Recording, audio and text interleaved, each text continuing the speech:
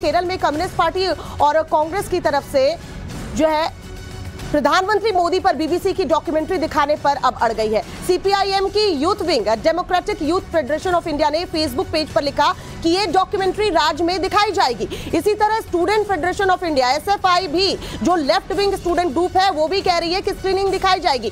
CPIM की सहयोगी है, उसने भी राज्य के अलग अलग कैंपस में बीबीसी की डॉक्यूमेंट्री दिखाने की बात अब वो कह रही है। इसी तरह Kerala Pradesh Congress Committee minority cell ने कहा है कि वो गणतंत्र दिवस पर राज्य के सभी जिला हेडक्वार्टर पर इसकी स्क्रीनिंग करेंगे। देखिए, ये बवाल केवल जेएनयू में नहीं हुआ, ये केरल में भी हुआ है और यही बवाल जो है वो कोलकाता में भी देखने को मिल रहा है। गुजरात पर बनी बीबीसी की विवादित डॉक्यूमेंट्री को लेकर जेएनयू ले, से लेकर केरल कोलकाता तक के एंटी मोदी एजेंडे पर विरोधी अपने काम पर जुट गए हैं। जी हाँ जेएनयू में रोक के बावजूद लेफ़्ट विंग के छात्र बीबीसी की डॉक्यूमेंट्री के स्क्रीनिंग पर अड़े रहे जिसे लेकर वहाँ पर जमकर बवाल हुआ। लॉ एंड ऑर्डर खराब हुई व्यवस्था वहाँ पर खराब हुई। वहीं केरल में भी सीपीआईएम की यूथ विंग और केरल कांग्रेस विवादित डॉक्यूमेंट्री दिखाने पर अड़ी हुई है। वहाँ पर भी यही बात कही जा रही है कि स्क्रीनिंग हम करेंगे। इसके साथ ही एंटी मोदी के एजेंडे को हम आगे बढ़ाएँगे। एक